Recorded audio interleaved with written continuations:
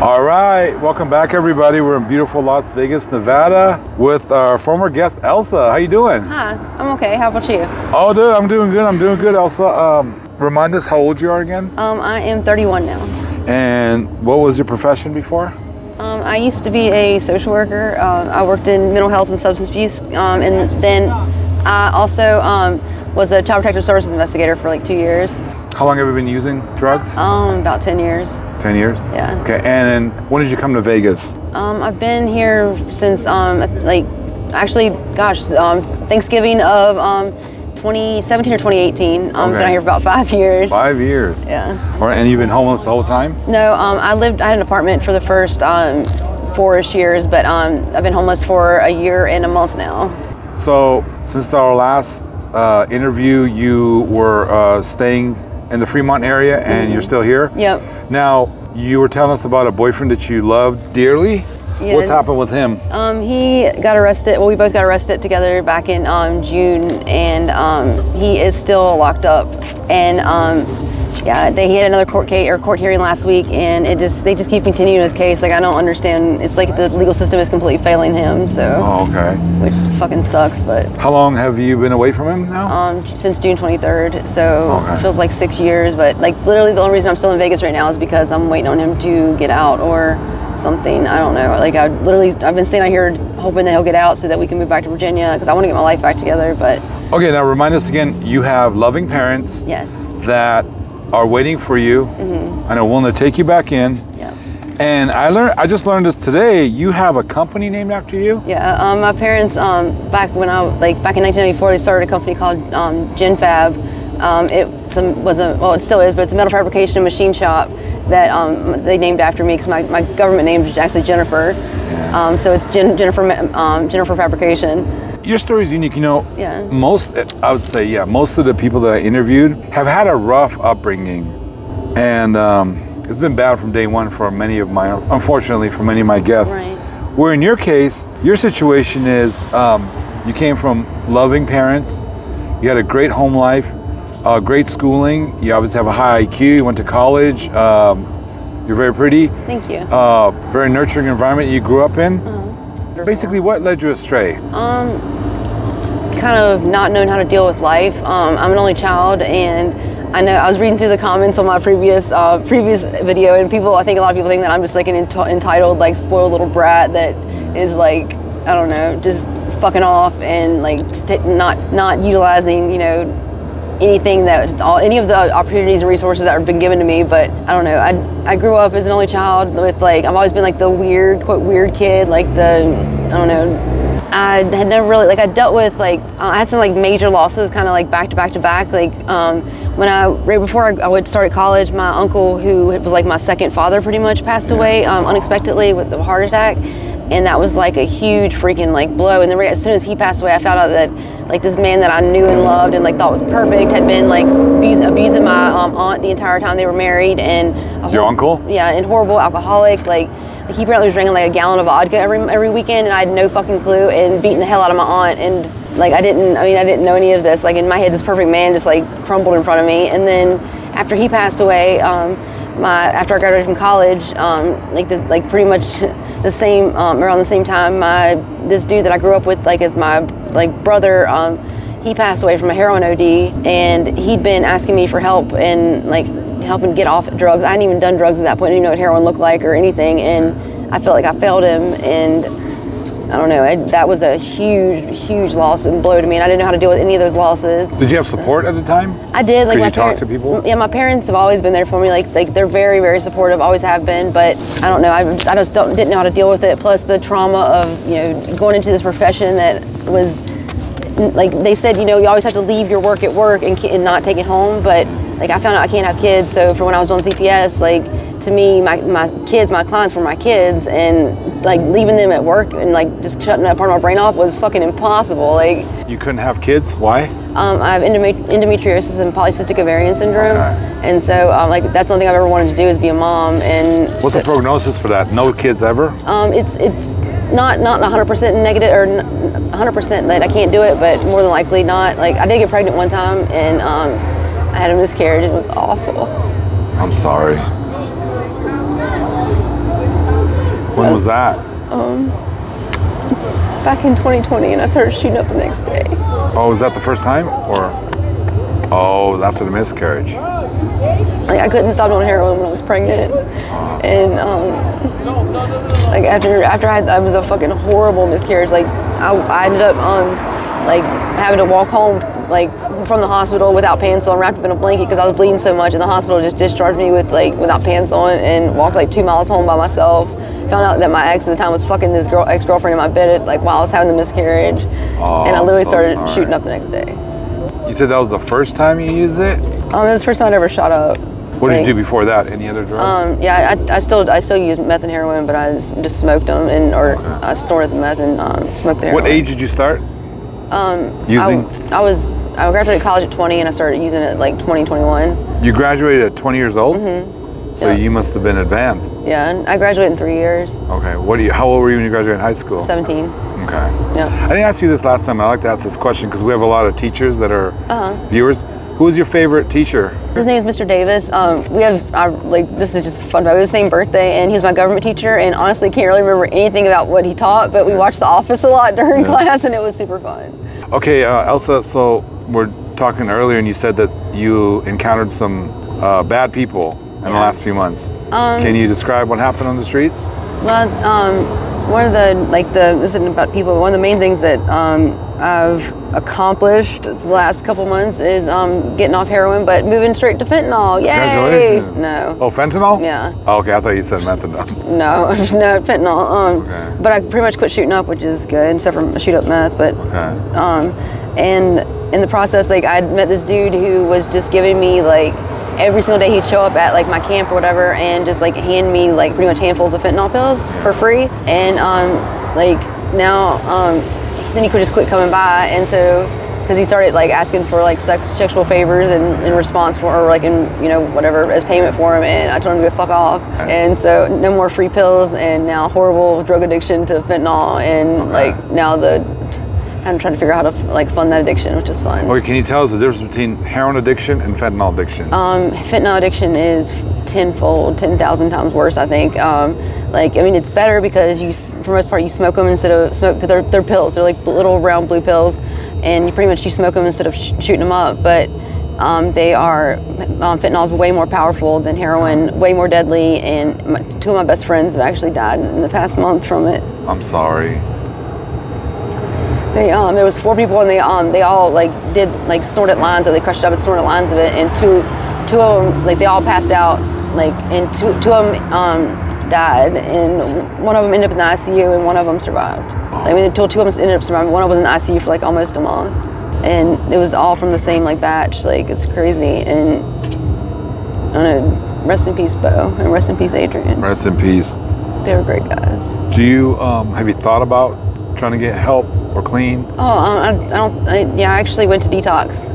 Did you? Yeah, um, I overdosed and um, like they had Narcan me twice, and um, I went to detox for, but I only stayed like five days, and I left because I wanted to gamble, which is stupid as fuck. But uh, they started talking about like Keno in the in the, my detox, and I was like, man, I've got to go gamble. So I left and went to gamble. Where'd you go detox? I'm at WestCare. It's a, Okay. like a public, um, Okay. like a pub, whatever public health fucking detox place. It was actually really nice, and shout out to WestCare because they're awesome. What did they want you to do Um, after the detox? They um they were talking about more like an inpatient like um like at least 30 30 day program like at the very minimum like Okay. I think it's gonna be a lot more than 30 days like I'd love to I don't mean it sounds stupid because I'd love to be clean and love to have like a normal, quote normal life again but I can't even imagine what that would look like. Well, you can't. Have you ever been to treatment before? No, that's the first time I've ever been. Okay, well, let's go back to your social worker days, and we're having the same conversation. Uh-huh. What would you? How would you advise?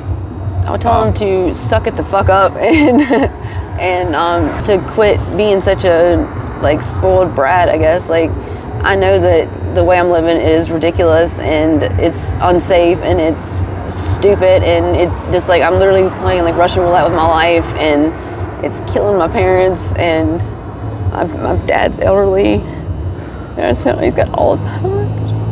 I'm sorry. I'm serious, Elsa. Um, I'm actually here for a while this time. I'm willing to help you. I've got a friend here who's a social worker. We're actually willing to help you. Anything we can do, we can call your parents, get your flight back. I mean, okay, you've never been to treatment before? They're gonna take your phone away, okay? Yeah. Do you know that? Do you Yeah. know what they're gonna do to you Well, when you I mean, there? I went I went to the WestCare place for like five days, and uh-huh. it was so like, oh my gosh, it was so nice. I was on meds. They like I got to sleep. Like they fed me. It was so nice to have food. How are you gonna deal with them taking your phone away and I never like I never even have it charged. Like I just got it two days ago actually. That's one of the big complaints about a lot of our guests. Yeah, I don't care about having a phone. Like I, I never have one anyway. Like I usually have a tablet that, I, but it got stolen like three days ago, Okay. right the day before I got my phone. So Is there anything we can do to motivate you? Had you talked to your parents? yeah, I need to call them since it's Thanksgiving. But How, co- um, how about we call them? But Yeah. I mean, tomorrow or something. yeah, I, I plan to. I got, I'm like was on my way to charge my phone when I ran into you guys. So Oh, okay. uh, I plan. I'm gonna call him for Thanksgiving. I wish I was there. Do you want to go there? No, not without Chino. Not without Chino? Okay, let's talk about Chino. I haven't talked to him like in like two months. Okay. And you really set on this guy? Is he when he gets out? Is he going to use? I don't know. They're, I'm trying to make him go to drug court. Right. So hopefully he'll be clean. Like I, I want to, like I want to be clean. He, he told me I needed to be clean when he gets out. So I want to be. And he, he's gonna be so disappointed when he finds out I'm on fentanyl. Now you were telling us that you had met someone else. How long ago was that? um, well, I'd known him like I've known him for a while, and we we just been homies or whatever. But um, we tried to date, but it was a freaking disaster. Like. Um, he was trying to control every single aspect of every move I made, and like he actually gave me a phone. Like I was so excited to have a phone. It was the first like nice phone that I've had, and um, then he said that um, I wasn't giving him enough attention or some stupid shit, and he like took it back. And I was like, he told me that um, if I wanted to act right, I could have my phone back, and I was like, that's fucking stupid. I'm not a kid. Like, and I don't know. He would just like he was screaming at me in public and like being all kinds of crazy. So I was like, yeah, fuck this. I'm not doing this. I mean, you're lonely out here. You need protection. Yeah. Um, just super I understand lonely. that. Now you said that you had some um, perverts harass you the last few months. Yeah, like this one dude um, has been like stalking me and he keeps popping up everywhere, like um, trying to like get me to like coerce me into his car and shit. And um, like I don't know, I keep telling him to fuck off, but he keeps popping up and like um, one day, like the first time I ever met him, he he um, asked me if I wanted some candy. It was right around Halloween, so I was like, hell yeah, like I'll take some candy. And um, he get, gets out of his like a SUV, it was like a Rav Four, and he gets out of his SUV and like pops open the back, and he has these two little like Tupperware things like side by side in the back of his um, car, and he opens them both up, and each one's like just one single piece of chocolate. And I'm like, what in the hell is this? And I was, um, I was like, dude, get away from me because it creeped me out. I thought it was like some kind of like way to roofie me or some shit. So um, since then, like he's pulled up like and tried to get me in the car like four or five times. And like one night, well, more than that, because one night it was um, four times. Like every stoplight, he would like pull up on me, and I was walking, and um, like I was like, dude, get the fuck away from me. Why, what, what don't you understand about that? And I don't know, it's it's it's super weird and creepy, and I don't know. It, did- but then the, today, like this dude um, gave me literally gave me a hundred, like offered me like to come up to his room to shower or whatever, which I normally say no because uh, I don't trust anybody. But Yeah. um, I, for some reason I said yeah, and he, like he um, gave me a hundred dollars once I got up to the room, and uh, I'm expecting him to ask me for like a blowjob or something, and I'm Yeah. and I, um, he was like, let me just see your skin, and I and I was like, what? And um, so I had on like um, I was wearing like pantyhose and like um, like a like a onesie thing. And you couldn't see any of my skin or like like I mean it was like everything was covered or whatever. But um, he was like he like let me he said let me touch your leg. And he like touched like the like the inside of my thigh and like the outside of my thigh at the same time. And he was like okay your skin's nice. And I'm like, what are you gonna like? Are you trying to see if it'll fit? Like, are you trying to wear my skin, or like, what are you gonna try to like what? Yeah. And um, he, he was like, I don't want to do anything sexual with you, but can I give you another hundred dollars to make out with me? And I was like, um, no. And he was like, you won't take a hundred dollars to make out? And I was like, I think making out's way more intimate than sex, so no, I'm not kissing you for a hundred dollars. And um, he was like, but you're a whore, right? And I'm like, dude, I will literally punch you in the face. How tall are you? like about six foot. You could knock him out, huh? I wanted to, but I didn't. Um, he was just like, okay, okay, okay, but you're not. Your skin's nice, and I'm like, the fuck, bro. like, know, it was really weird. But then um, he was he was trying to hang out with me, and I literally like took my shower and darted out of his room, and he was trying to chase me out of the room, and I was like, fuck, no, this dude's So a you didn't feel killer. threatened by him. I mean, I was like super uneasy, but like, what's the worst he's gonna do? Kill me? Like, who cares? That's interesting. You said you'd rather have sex with someone than to make out with them because it's more intimate. yeah. Okay, on that subject, um, I know you've never worked uh, as a prostitute, but you had some experience. Right. And wh- when was that? Um, the like the back in Virginia when I was just um, I would do like pain pills recreationally. Like um, I was majorly on pain pills. Um, I like had sex with this, this old guy for um, like 25 like um, perk tens, and uh, 25 what? like Perk, Percocet okay. 10 How much is that worth? Um, it was like 250 bucks maybe. Okay. Like um, I was so desperate for him, I had no money, Yeah. so um, I would like agree to it, and this, I'll never forget like this.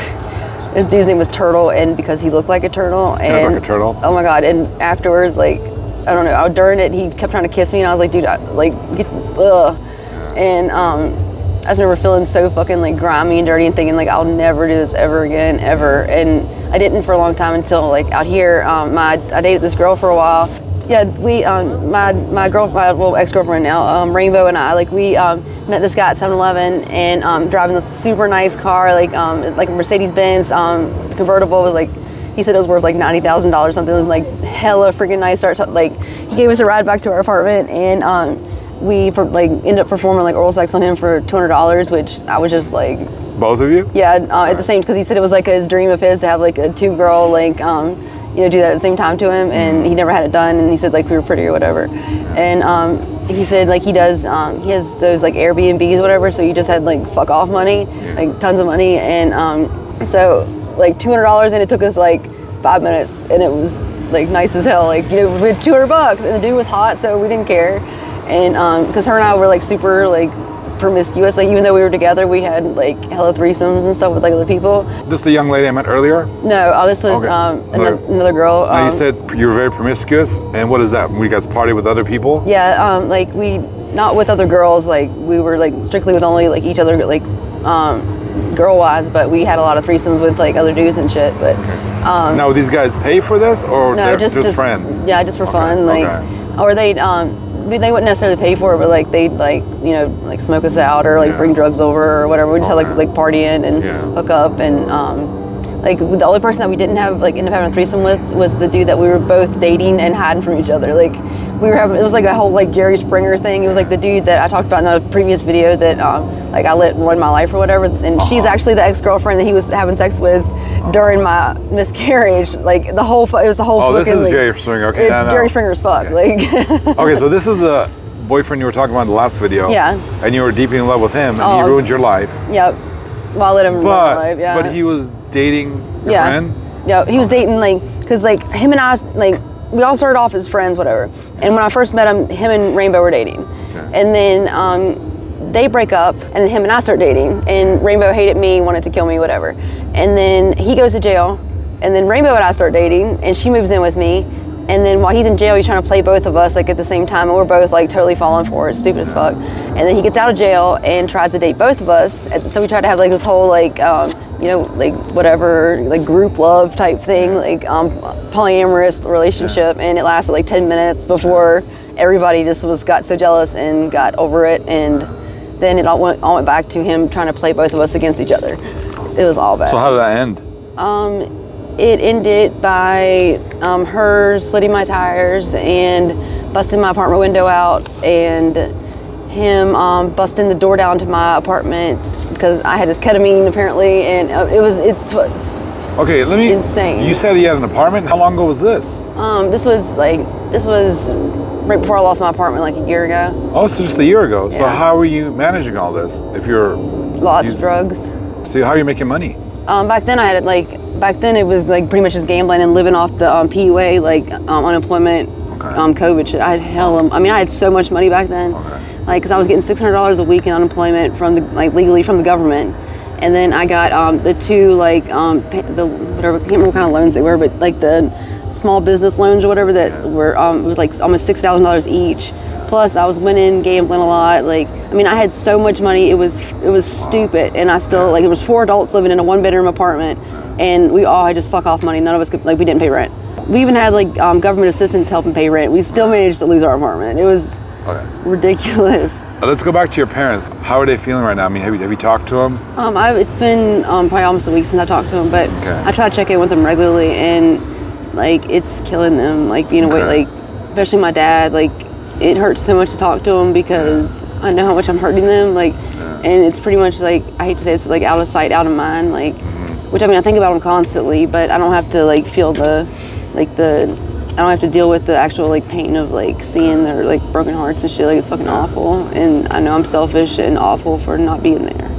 My buddy here, that you met as a social Uh-huh. worker, and he has a lot of experience in this. Um, will you be willing to hang out with us tomorrow so we can get a hold of your parents, have a talk with them, and see if we could plan something out for you? Probably yeah. Okay. What's holding you back? Chino, drugs. I don't know. It's Chino? and the, the like the pull of the city. Like I've tried to leave like But you need to fix yourself before you think about. Chino. And I've tried to leave the city four times, and every single time I come back within like a week, I can't stay away from it. It's Why the drugs? I don't I don't even know if it's that. It's just like everything. Like the it's got like if you talk to anybody who lives out here, everybody says the same thing. Like once you get in Vegas, you can't leave. Like it's got some kind of like I agree with you because every time I leave, yeah I come back on the weekends, Uh-huh. but now I'm here for a while. yeah. I can't wait to get back here. And I don't do drugs. and I hate it out here. Like, I mean, I, I don't. I say that, but I mean, it's like it's it's, exciting. You know, no day is ever the same as the next. Like, like every day is something different. Like, is I don't know. My friends are here. Like, my, I say friends very loosely. Like, you have friends out there? um, I did, but I don't know. I haven't talked to anybody out there. Like, I pretty much just left without really telling anybody where I was going or what I was doing. I just kind of dipped. So uh, Thanksgiving's tomorrow. Yeah. What are you doing for Thanksgiving? Um, honestly, I forgot it was even the holiday. There's so. a big celebration just up the street right down there tomorrow. Yeah, that's what that's what that Yeah. um, lady said. So I guess I'll maybe probably go to that. I don't know. Yeah. Uh, we'll be going over there. Oh yeah. Cool. Yeah, to help out. Cool. Before I forget, um, do you give us permission to use this video on our YouTube channel? Yep. And do you have a new email or any kind of way we can contact you? Um, Let's see. Subscribers Um, can contact you? Elsa E L S A Escobar E S C O B A R six six six at gmail.com. Escobar. Yeah, it's my um, ex. Um, he does a graffiti. Oh, okay. He's a graffiti artist. Okay. And uh, his, his government name's um, last name is Escobar. Okay, Elsa. Uh, I'm never, I've never met Chino. I'm not Yeah. trying to diss him, and I'm probably gonna get some hate about what I'm about to say. Um, just listen to your story, where you've been, how far you've come. You know. Uh-huh. Deep down inside, do you feel like do you feel that Chino's not right for you? Before you answer that, Mm-hmm. uh, think about the Elsa that was not on drugs, the Elsa that had a fabulous career. Right. the Elsa that had a supporting family, high self-esteem, Uh-huh. thought positive about herself. Would that Elsa even look at Chino or someone like Chino? Not Chino, but someone like Chino. Right. Well, that that also never existed. Um, I've never had high self esteem. Always been like the you know back then I was like like before I started using drugs I was really heavy. Like I weighed like 220 pounds. Okay. And, that's um, not that heavy, but go ahead. 'cause but- you're six feet tall. But go Yeah, ahead. Yeah, but still, I, I mean, I was like, I was like the bigger girl. Like I was always, I could always say, I would joke around and say I was the funny fat friend. So I'm a I'm 220, so I'm really fat. No, but for a girl, girl, guys carry weight different. Like I'm you're not fat at all. But um, you know, I, I don't know. I um, Chino's Asian. And I've never like never dated an Asian guy before, and um, not that it's- have anything to do with it, but I don't I don't really know how to answer that because I don't know like. I mean, I think I think he's absolutely like he's the guy that I've always dreamed of. Like he takes care of me. Like he like he makes sure I'm safe. Like he makes sure I'm eating. Like like I mean, of course he buys me drugs. He, he enables the fuck out of me by taking me gambling, and you know he uses drugs, and you know he's a gambling addict too. But like I really feel like he actually genuinely loves me and loves me for who I am, regardless of drug use regardless of any of the our addictions or anything. But he's like when I when he asks me if I'm okay, like he, he actually sits there and listens. Like he doesn't just like brush me off or Okay. you know I don't feel like he wants to be with me because of like the fact that I'm quote prettier or, quite- or what- Yeah. or whatever. I feel like he wants to be with me because of like who I am. Okay. Now, what if you found out that he was in a relationship and cheating on you in jail for the last six months? I mean, he like he's bi, so like um, he used to date guys. Like Oh, he used to date guys? yeah, Oh, okay. yeah, but I don't know. It, it would devastate me. And but Yeah. like I think I'm pretty sure that he was like um, pulling tricks before like he got arrested because um, I don't know. I've heard some shit and stuff, but like So Chino was uh, pulling tricks while he was with you, or Yeah, uh, I'm pretty sure, but- for what? For money and drugs? yeah. Okay. And to support all of our habits because Okay. it's pretty expensive to fund two people's gambling addictions, okay. like drug addictions, and you know, plus all the necessities of life.